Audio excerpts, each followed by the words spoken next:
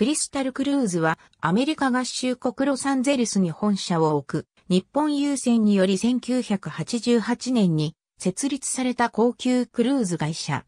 中型の高級クルーズ船を2隻運航している。2015年にゲンティングループのゲンティン香港に売却された。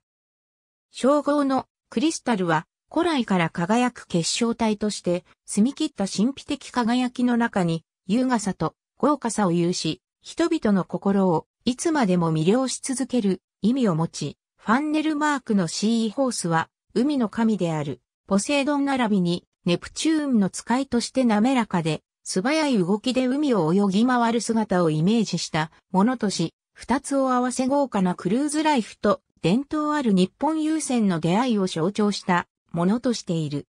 2013年には旅行雑誌コンデナストトラベラーで通算20回目7年連続の中型船部門の第1位に選ばれた。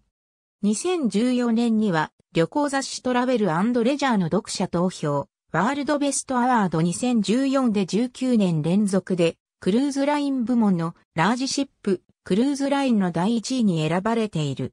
クリスタルクルーズのクルーズ客船であったクリスタルハーモニーは2005年に日本優先グループの優先クルーズに売却され、回収の後、アスカニとして就航した。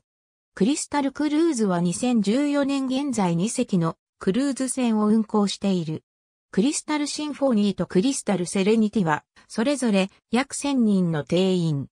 ウィキメディアコモンズには、クリスタルクルーズに関するカテゴリーがあります。ありがとうございます。